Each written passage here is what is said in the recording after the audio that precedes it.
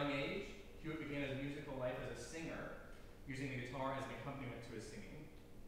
A commercial performer and session musician for the first eight years of his musical career, the Let Your Fingers Do the Walking Through the Yellow Pages jingle in South Africa was heard from the voice of a young David Hewitt.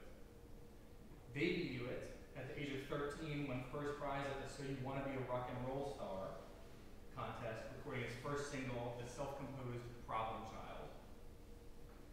Arriving at his first lesson with South Africa's leading classical guitarist, carrying an electric guitar, he was turned away and told to go back to school. So he did. David enrolled at the University of Wits, Witwatersrand, in Johannesburg. Uh, here he began studying classical guitar with Fritz Buss uh, in 1967. He would have been about 20.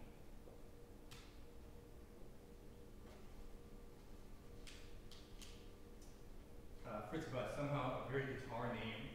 Reminds me of a fret buzz for some reason.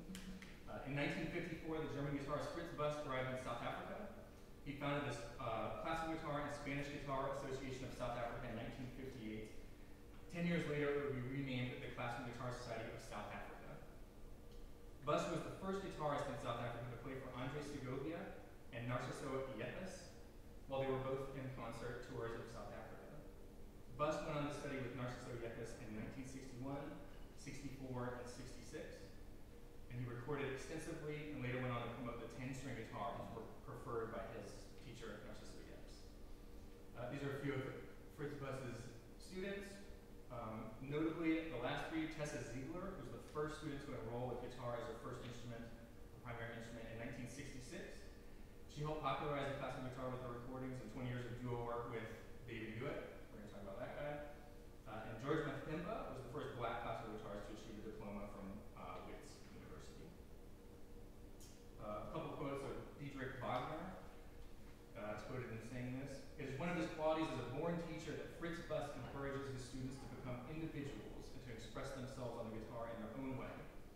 He is quick to spot a particular gift and encourage a pupil to develop the ability to full. And David Hewitt said this, My lessons with Fritz so inspirational and his enthusiasm so contagious that my transition from popular to classical music seemed the most natural thing for me to do, as he guided me into a world I hadn't known existed. Um, there are many more guitarists in South Africa. This is just relevant to our conversation. He kind of brought uh, traditional classical guitars to South Africa and taught David Hewitt. Okay, David Hewitt as a classical guitarist. David Hewitt also studied with Narciso Yepes. He was invited in 1975 to his International Paris Guitar Festival, uh, and David Hewitt was asked to play the closing concert for that festival. In 1977, David Hewitt was among 15 guitarists selected for the worldwide master classes held in Lucerne, Barcelona, and Madrid with Yepes. Um, also in 1977, Hewitt was sponsored by the Classical Guitar Society of South Africa to give concerts in all major cities in South Africa. These performances also sparked solo concerts in Europe and the United States for Hewitt.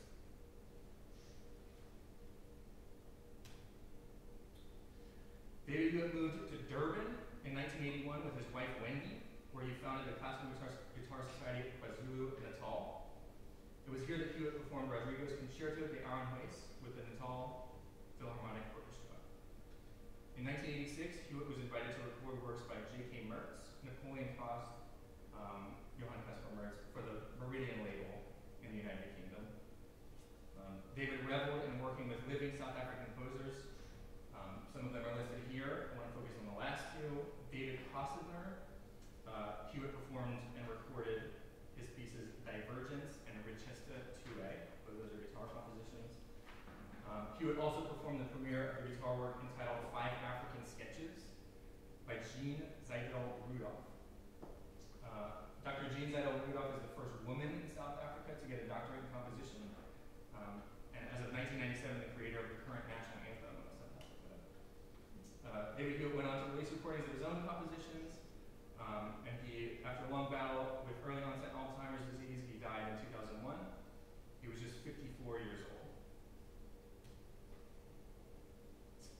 This is a picture of David Hewitt together with his wife, Wendy, on the left, uh, Tessa, his duo partner, on the right. Um, this was taken at a Guitars for Africa fundraising concert very near the end of his life. Um, now I'll play two more pieces by David Hewitt. First is among his earliest works, and it's entitled Wendy, after his wife. Um, he wrote this song for their wedding day. Uh, and the second is perhaps his most popular work, whose title reminds me of the rock and roll competition winning Problem Child called Baby Hewitt. The piece is called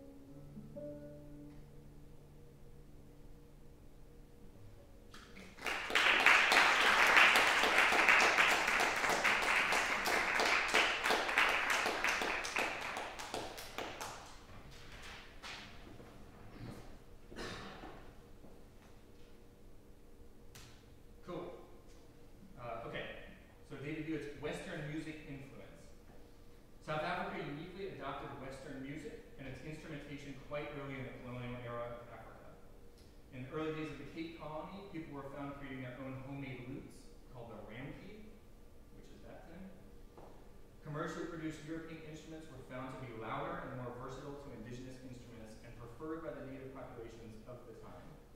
Guitars quickly overtook native instruments, uh, bow instruments, and electric guitar quickly overtook acoustic ones. In Johannesburg, in the early 1900s, American ragtime, Dixieland, and jazz became popular. Johannesburg was segregated for sure, but the city's atmosphere allowed for much more cultural exploration and freedom than those in older settled towns of Cape, Natal, and Transvaal. The most common venue for this music was the shebeen, translated, translated roughly as a place to party. Shebeen is also the title of a piece written by David Hewitt. Globally, all guitarists of the 50s, 60s, and 70s were exposed to a healthy dose of American pop culture and rock music. Western song styles took hold of South Africa and were responsible for David Hewitt beginning to play the guitar, as was the so many guitarists of that time.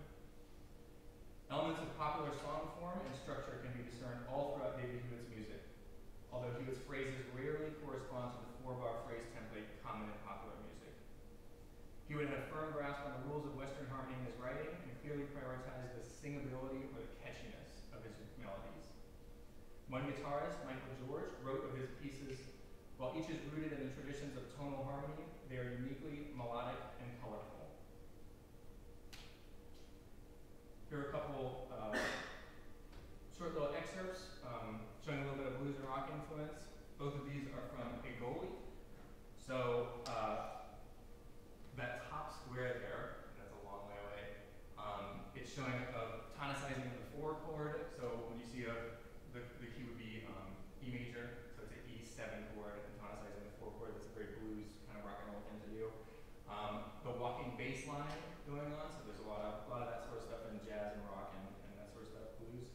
Um, approaching things from below, so like guitar sliding in from a fret under, that's pretty pretty common for blues music. This uh, A sharp here, this stepwise motion into um, the next note above, sliding up,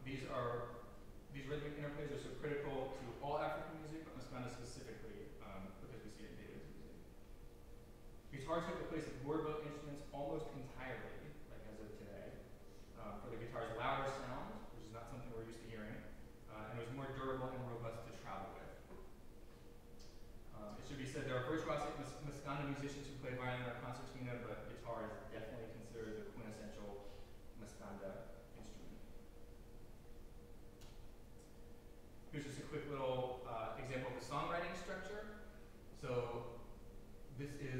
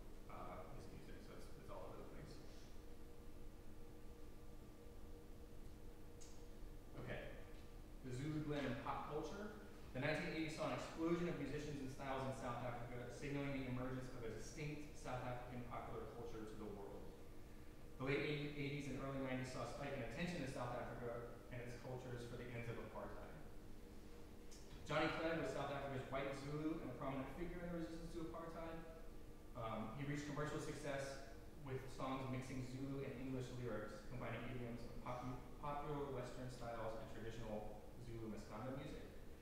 Um, pretty controversial figure. The South African Broadcasting banned his recording, saying that Clegg was consulting the Zulu people by claiming to play their music.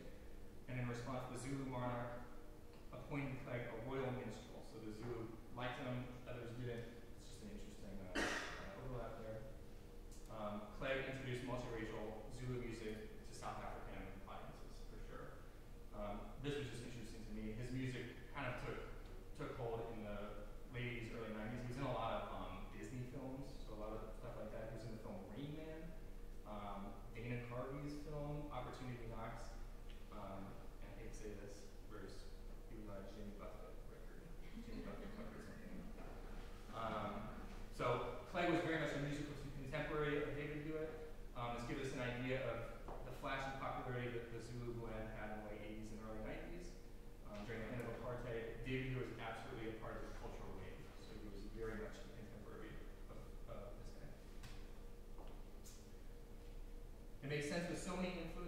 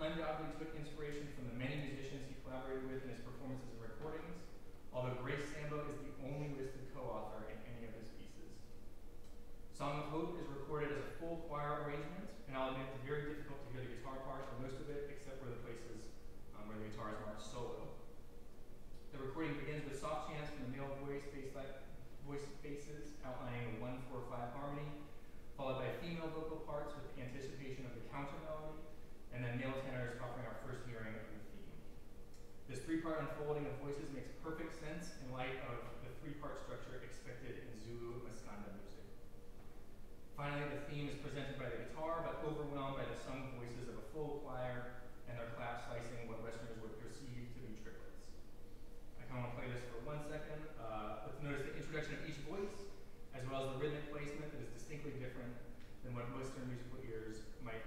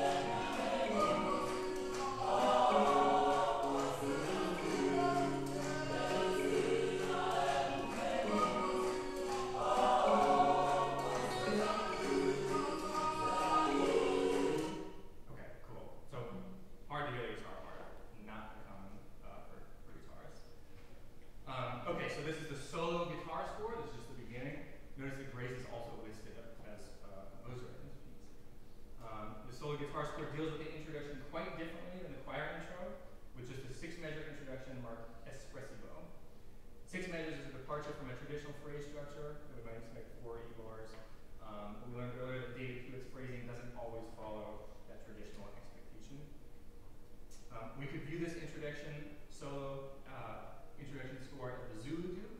Um, it could be on the Skanda Intella, so that unmetered introduction. Um, here marked as Presivo, so could be played unmetered